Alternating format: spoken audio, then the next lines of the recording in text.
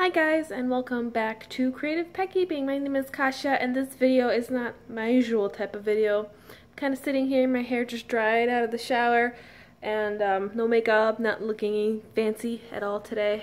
Hanging out on my little couch.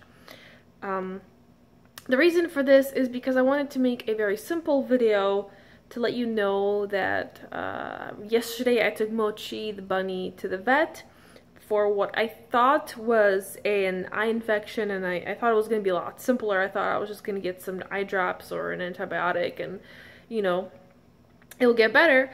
When we got to the vet, um, sometimes bunnies will, will get uh, swelling uh, in, in around their face when there are uh, teeth issues. So for example, if, if a bunny's teeth grow too big and they're pressing uh, on their jaw. In her case, she had two teeth that were actually rotten and they weren't even that attached to her mouth. They were sort of just kind of floating around in, in her mouth, like in inside of the tissue, and it was just very like swollen. And because they were still in there, the discharge could not really exit, so it was kind of building up and, and coming out of her eye and her nose. So those teeth were pulled. Um, they actually pulled the teeth while she was like completely awake. They didn't put her under for it because they they um she doesn't didn't feel a lot of much pain because the nerve endings around those teeth are probably already dead. I mean, she still got a painkiller though. So they were able to do that. Also, it's it's better not to put a bunny under anesthesia unless it's really necessary because there's always that risk, you know, that they're not going to wake up. So they did that. They pulled two of her teeth and they gave me they gave her a shot for an um, a pain killing shot and they gave her the antibiotic and then they gave me also oral pain killing uh, medication for her as well as an antibiotic. And I have another uh, appointment to bring her in next week on Tuesday to kind of uh, check her up again and kind of see how she's progressing. If the swelling doesn't go down which it looks like it's, it's starting to go down uh, if it doesn't get any better, uh, I was given some information about uh, an emergency vet that's in the area that does take in bunnies. Because the thing about bunnies is they're considered exotic animals, so they're classified uh, under the same category as guinea pigs and ferrets and lizards and all those other critters. So not every vet has the license and the education to treat a bunny. So the, the, they might have went to vet school and you know kind of learned about general, you know, uh, pet medicine, but specialized in cats and dogs, and they're licensed to treat cats and dogs. But uh, you need to have extra, more specific education to deal with other animals because bunnies, while they're similar to cats and dogs, are also different. They're prey animals. They're um, versus cats and dogs are predator animals, and there's a lot of uh, diff- different differences in, in their physiology and how their body uh, reacts to different things. I'm just waving my hand around.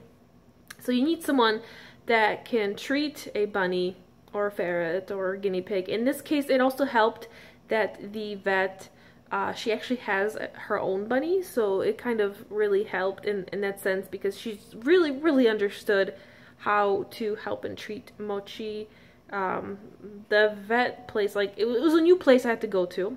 I've never been there before, and they were really awesome. The the practices uh, that they um, have in, in, in treating rabbits were awesome in the sense that they didn't stress Mochi out at all. It was very like as least invasive as possible.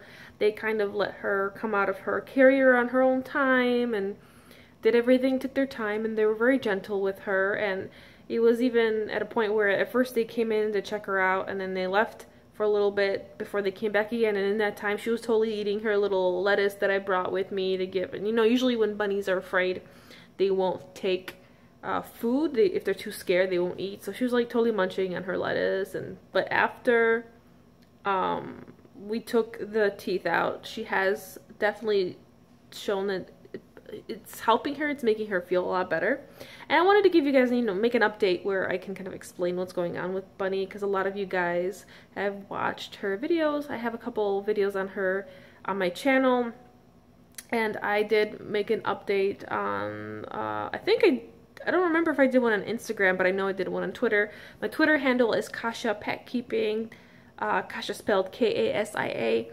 And then I also have an Instagram creative pet keeping where I, you know, will update you guys if anything uh, changes or anything happens suddenly in between my videos.